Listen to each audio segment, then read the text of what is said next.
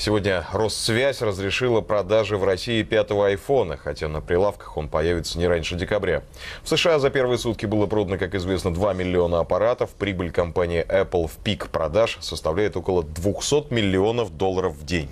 Себестоимость пятого айфона менее 200 долларов, и, как выяснилось, лишь небольшая часть этих денег идет на зарплаты рабочим. На китайском сборочном заводе многотысячный бунт, самоубийство и палочная дисциплина. Обратная сторона айфона в репортаже Евгения Попова.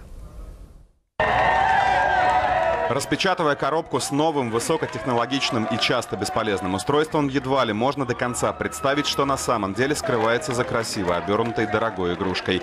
Nintendo, PlayStation, iPhone, iPad, то, что их производят в Китае, ни для кого не секрет.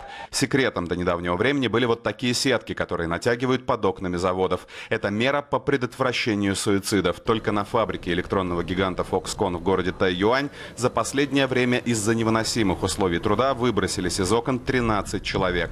Заводы компании охраняются не хуже военных баз Абу-Грейб или Гуантанамо. Эй, вам тут нельзя снимать. Foxconn – это более миллиона рабочих в Азии. Фабрика в Тайюане – небольшой город, 79 тысяч человек, примерно как подмосковная Лобня. Все на одной территории. Цех, рядом общежитие. В крошечных комнатах на 8 рабочих, двух-трехъярусные кровати с клопами, белье на балконе, душ один на этаж. От заводского шума невозможно уснуть. Зная, в каких условиях работают люди на заводе и о том, что они ничего не могут себе позволить, я лично задумался бы, покупать ли iPhone 4 или iPhone 5. Зарплаты даже по китайским меркам небольшие, примерно 7 тысяч в пересчете на рубли, но чтобы их заработать, нужно стоять у конвейера 5 лишних часов в день. То есть не 8, а 13 часов.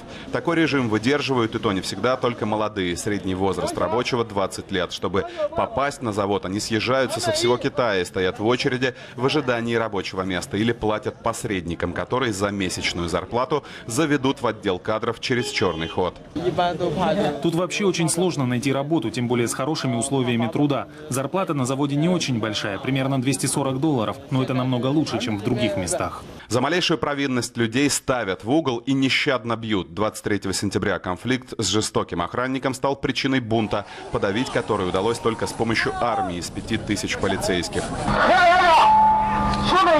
Фактически узаконенное рабство устраивает американские корпорации. Бизнес у клиентов Foxconn идет хорошо. Microsoft, Sony, Apple еще 20 лет назад нашли эту золотую жилу и отдали сборочное производство на откуп китайцам.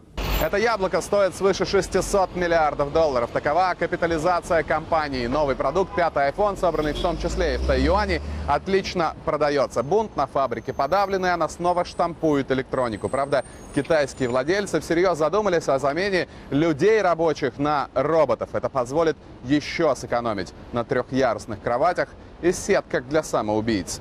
Евгений Попов, Виктор Казаков, Вести, Нью-Йорк.